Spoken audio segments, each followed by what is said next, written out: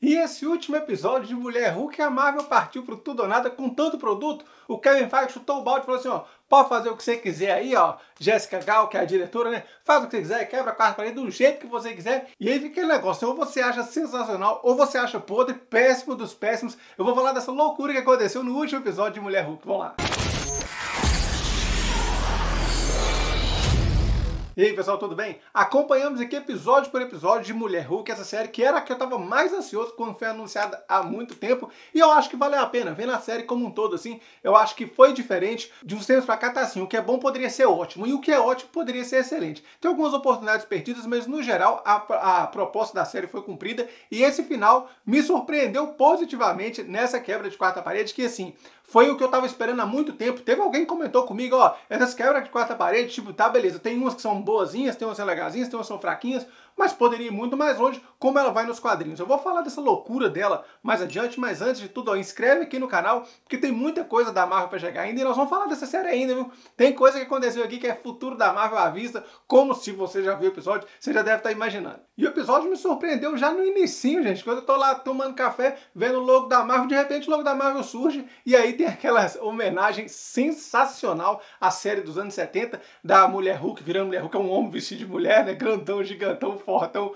muito legal. Aquela homenagem ali, eu tenho até que rever, né, pra poder ver alguns easter eggs ali. Que homenagem boa, eu lembro que eu era criancinha, passava na televisão da série que já era antiga, né? Tipo, se passava nos anos 80, a série que já era dos anos 70. E eu gostava pra caramba quando era criança daquela série do Hulk. Mas aquilo nada mais é do que um sonho, né? Um pesadelo que ela tava tendo, porque ela acordou lá no controle de danos, ou seja, né, a última cena do episódio passado, que ela simplesmente para assim e acho que não olha para você, mas olha para alguma coisa. Eu achei que ela tinha olhado para alguém, que tinha chegado alguém aqui, eu comentei isso no último episódio, mas não olhou para ninguém, é só ela assustada mesmo com a situação, não deu nada, simplesmente capturaram ela, não lembro de mais nada, capturaram ela tá no controle de danos. E ela acaba aceitando a proposta de ficar com o inibidor de poder, que é uma forma de baratear a série, né? Coloca o inibidor que não tem mais poder, porque o poder é mais caro, que isso é o que o Kevin vai falar lá adiante, a gente viu isso na série toda, e, inclusive no final economiza de novo, a série tem que economizar, mas é legal da série poder falar isso mesmo abertamente com a gente, e ela vai para casa dela conversar com a amiga dela, tentando identificar, adivinhar quem é que fez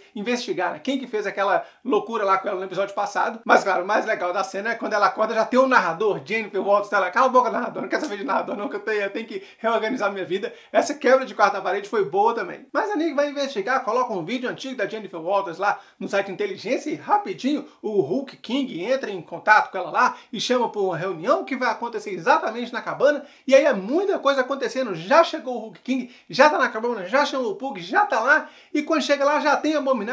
Só que assim, você acha forçado, eu também achei forçado. Eu falei assim, gente, mas que muita coincidência no episódio, tipo assim, tá tudo acontecendo, é proporcionado, tudo convenientemente é, é, acontecendo ali pro roteiro e tal. Só que essa é, de fato era a ideia do episódio. Quando chegou a, a Titânia lá, eu falei, que zona é essa? Que, que, que bagunça é essa toda? Mas esse era o propósito, fazer um episódio que tava tudo acontecendo junto para resolver tudo no final tal, não sei o que, que é o que ela revoltou, né? E foi quebrar a quarta parede conversando com você e conversando com a produção lá. Mas eu não cheguei lá ainda não, porque chegou o Abominável, né? E na reunião lá chega o Abominável, mas só que ele chega naquele grupo lá e pelo que eu entendi, ele não sabia que aquele grupo era um grupo de inteligência lá, que era um grupo mal, só tem um idiota lá naquele lugar lá?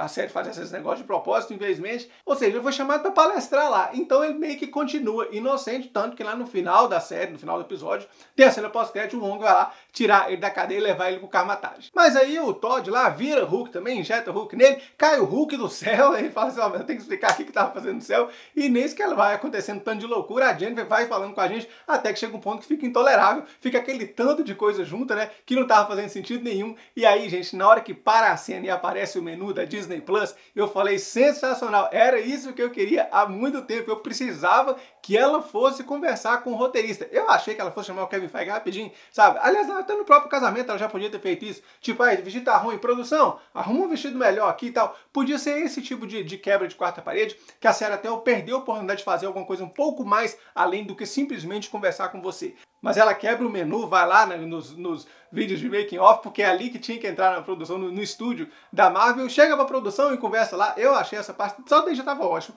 Na hora que mandou conversar com o Kevin, então eu falei assim, nossa, finalmente vai aparecer o Kevin Feige, como você imaginou também, como imagino que você tem imaginado.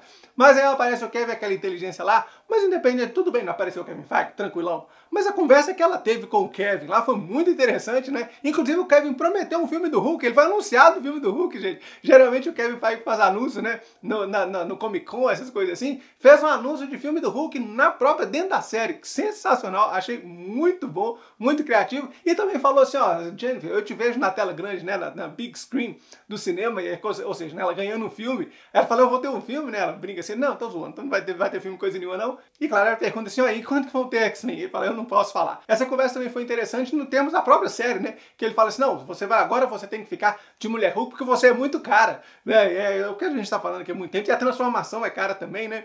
Então a conversa dela foi muito boa. Ela falou assim, eu sou a série de advogado, então eu preciso fazer um discurso de advogado aqui dentro. Mas, gente, assim que ela entrou, que eu vi aquele tanto de tela, assim, de um lado pro outro, eu falei, gente, esse Kevin Feige vai estar sentado na cadeira Tipo o arquiteto lá do Matrix, né? O cara falando, falando de física, com tanto de coisa atrás ali. Achei que ia ser daquele jeito. Não foi, mas foi bom também. É legal ter o Kevin, até bonezinho o bichinho tem. Eu só não consegui encontrar se aquela era a voz do Kevin Feige mesmo. Comenta aqui se era ela. Eu só achei que, embora seja criativo, seja legal, divertido e tal, eu só achei que essa parte demorou demais. E aqui vem meu, minha crítica ao episódio, porque no, se você, por mais que seja divertido e tal, não sei o que, demorou essa parte aqui, ela meio que resolveu a cena toda, a treta toda da série assim, né? Ela foi lá na produção e falou assim, ó, troca isso, troca isso, troca aquilo, tal, não sei o que. Resolveu, já tá todo mundo preso, todo mundo resolvido e tal. Então não teve aquele clímax que, assim, é o que eles estavam discutindo, ó, toda série final tem que ter um clímax e tal. Por que, que essa série vai ter que ter se essa série é diferente do resto? Agora, beleza, o Kevin Feige apareceu lá, se é que é a voz dele, não sei ainda, mas aqui, ah, se fosse Stan Lee, hein? Não, mas ele apareceria assim, mas conversaria com ela assim, mas na tora, falaria da série inteira, numa cena inteira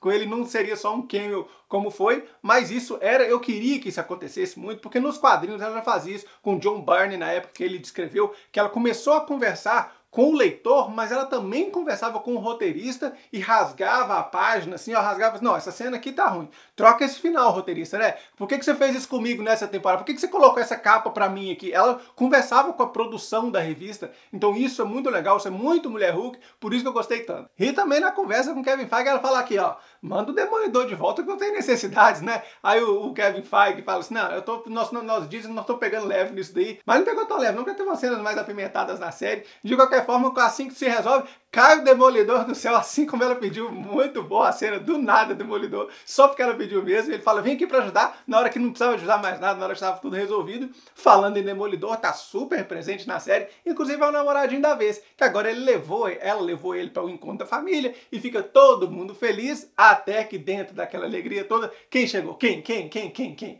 Tá lá o Hulk chegando com o filho dele, Scar. E aí, isso abre outras possibilidades. Eu achei que o negócio do filho dele ia ficar resolvido lá por sacar mesmo, lá pro planeta dele mesmo, que não ia já trazer de uma vez, mas o Hulk é assunto para outro vídeo que nós vamos falar aqui ainda. Agora uma palavrinha final. Você pode ter gostado ou não desse episódio, mas uma coisa é fato. A Marvel tem sim tentado mudar praticamente todos os produtos aí dessa fase 4 são muito diferentes um do outro, que era a principal crítica que tinha até a fase 3. Inclusive, isso é mencionado no próprio episódio, eu acho isso muito bom, ou seja, pode esperar que daqui para frente, né, dificilmente a gente vai ter aquele formatinho super-herói nos próximos projetos, formatinho que a gente estava acostumado, que é produto Marvel mesmo. Eu tô vendo que outros produtos serão bem diferentes uns dos outros. E agora comenta aqui qual parte que você gostou mais, se você achou ridículo ou sensacional esse final bizarríssimo de Mulher Hulk. Um grande abraço e até mais.